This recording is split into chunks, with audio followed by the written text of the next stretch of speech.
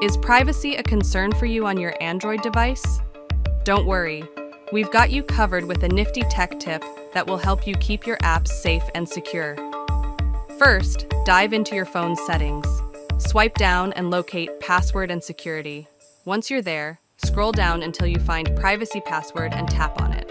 Now, slide the screen to reveal more options and look for Set Unified Password. Give it a moment to process, then click Start.